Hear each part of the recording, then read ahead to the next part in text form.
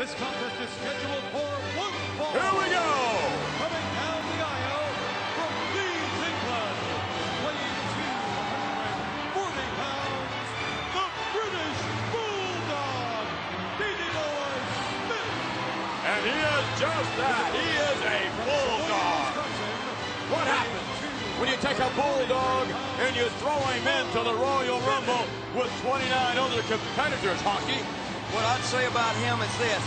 If anybody gets their hands around him, they're going to be in trouble because he's got phenomenal strength. I'm not going to take that away from him.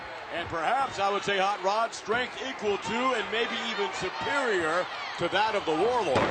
Well, I think if there's anybody in the that can break the full Nelson the Warlord is perfecting, that's the man that can do it right there. Probably so. British Bulldog, Davey Boy. You wonder what sort of strategy he's going to have in the Royal Rumble, and for that matter, Hockey Tom, what sort of strategy are you going to have a week away? I've always felt this way. I have a theory. It's not the strength. Yeah, it's, It's how you can hide and how you can run, So you won't give me a chance. It's the Uh-oh. leverage. Everything's leverage, Vince McMahon. You got to have leverage. You have to have leverage, and that's your strategy is leverage. Yes. Hockey, please, let come on, it's us. You can tell us. Your strategy is run and hide, bob and weave, No. duck and no, slide. Come no, on, no, no, no. We won't tell nobody, Hunter.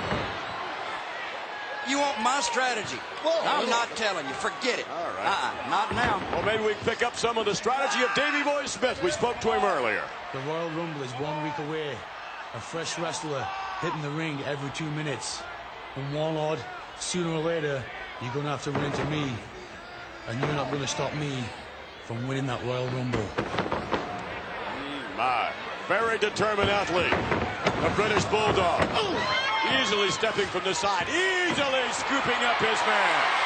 And Tom Bennett's going to go one way. The way the Bulldog